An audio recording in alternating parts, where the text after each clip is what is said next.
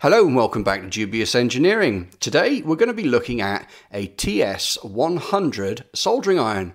These are wonderful little bits of kit. Um, I've been quite impressed with it actually. So what I'm going to try and show you is how you can use it, uh, battery operated soldering iron, to work with small electronic components and also some reasonably thick cables. This thing does all goes all the way from a sort of 17 watts up to 60 watts, or less than 17 watts. It's got temperature control and all that kind of stuff. And anyway, here it is. Here's the box. Yes, the uh, unboxing. I've got a guest with me in the studio today, who's Matthew, and Matthew has a channel. What's the name of your channel? I've forgotten actually. Um, uh, uh, I was going to say Reckless Engineer, and that's yours. No, that's mine. Mine's dubious. Oh, Yours is- yours is yeah. Reckless. Oh, yeah. Excellent. Anyway, so in the box, we've got an Allen key, we've got a couple of screws, and uh, Matthew, by the way, is uh, also an electronics enthusiast. In fact, does it as part of his job. So uh, he's had a little play with the iron earlier. There's a couple of screws uh, in, in and an Allen key. I don't know why I'm showing you this, but uh, there we go. Spare screws and an Allen wrench. Um, and the, the key thing really is is is this bit is the driver. It's all open source, so you can put your own code on there. It's powered by a little barrel jack. Uh, doesn't come with a cable, uh, point to note. So you have to find your own little barrel jack connector. I've got one with a couple of crocodile clips on it. And um, you can update the source, you update the firmware in this and make it do all sorts of weird and wonderful stuff. It's got an OLED display on the front of it, a couple of buttons, and you plug in the uh, iron tips. And you can get a variety of different iron tips for it. I bought the cheap one with just the single iron tip uh, option. But um, yeah, so uh, what we're going to do is get on and do a little bit of soldering in a few minutes and just sort of show you how this thing performs. And it does actually perform quite well. So far, I've been quite impressed with it. Um, what uh, what kind of uh, numbers have we got here then? So the operating voltage is 12 volts and um, it uh, goes up to 24 volts. And as I say, at 12 volts, you've got about 17 watts, and 24 volts, you've got about 65 watts. And, and here it all is on the piece of paper that we threw away earlier. So there's a little chart, a little table there with all that information in it. And uh, on the right hand side, hopefully my finger will go there in a few seconds. There it is. That's how to do a firmware upgrade. Uh, so yeah, you can indeed, uh, with a little micro USB connector, plug this into your computer and uh, upgrade the software and do all sorts of kinds of mad, wonderful stuff, like perhaps profiling and that kind of thing. One thing that I did notice about this particular device, if you leave it alone, uh, turned on for a while, it dials back to about 200 degrees. When you pick it up, it's got a motion sensor in it that then brings it back up to whatever temperature you've got it set at. It comes set default about 300 degrees, which is a bit low actually. It does melt solder, but it's a bit low. So um, anyway, uh, key thing then. If you haven't seen the solar powered shed, have a look at the solar powered shed. Uh, in the solar powered shed is a lithium ion power wall that I've put together, and uh, there it is. So the idea here, this is a 12 volt lithium ion power wall, and uh, what we're going to do is we're going to continue on working on the solar powered shed by using the soldering iron. We've upped the speed of the video a little bit to make things a little bit more interesting. Um, we're going to carry on working on the solar powered shed and put some lighting in place and that kind of stuff, do a bit of soldering work. So, um, obviously, that's sped up somewhat, uh, but uh, yeah, about 30 seconds or so uh, gets you up to uh, 300 degrees.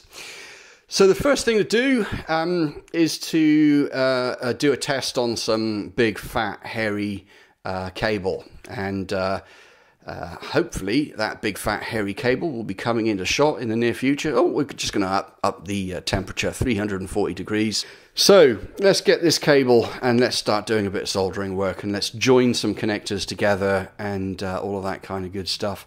My solder was quite thin, so what I've what I'm doing here is um, uh, multi platting platting solder. Thank you. Yeah. Multi-coring the solder. So here's an untinned cable. It's quite thick. It's about as thick as the tip, as you can see. And um, again, it had absolutely no problems with this, and it made a really nice job. Obviously, the it's multi multi flux, multi core solder, so um, the solder works a treat. The soldering iron works a treat. I'm sort of happy with this thing, to be honest with you. About forty pounds um, on on eBay, and uh, but yeah, it, it it does it does do what it says on the tin. It solders stuff. Um, Matt was telling me earlier that occasionally he goes travelling and um, he has in the past uh, taken a gas soldering iron with him. And uh, the airports don't like that very much. So uh, perhaps um, with this guy and a, uh, a lithium ion pack, probably not one quite as big as mine, but um, maybe one of those little LiPo radio control packs.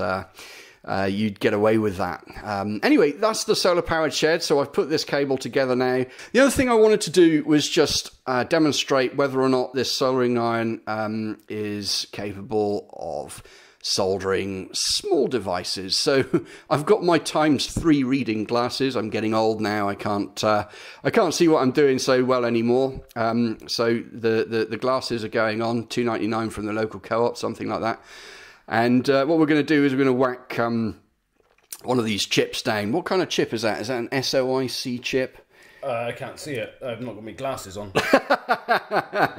anyway, so what we're going to do is we're going to whack down one of these little SOIC type chips, and um, we're just going to see uh, see how we do. Uh, I'm oh my goodness, Mister Bumble, Bumble, a lot of Bumble tree going on here. Um, AV your heart out. Anti-static precautions have been taken. Oh yeah, absolutely. Oh, that actually, that's a very fair point. The soldering iron does indeed have a, a tab on it that allows you to connect a wire to it, so you can ground the uh, iron tip. Um. anyway, so hopefully you will see uh, that my soldering skills are, are, pretty bad. Don't tell me I've got that chip on that, the wrong way round. No, I was just, is that touching there? Yeah, yeah, of course it's touching. I mean, where it shouldn't be. Uh, what do you oh, mean? Uh, just down uh, under the soldering iron. Is that? Um... Should, uh, am I touching things I shouldn't be touching? Yeah, I think you might be. It might be all right. Uh, well, well, hopefully the silk. Get, you might the, get away with it. Hopefully the silk screen will take care of it. We'll see how we do.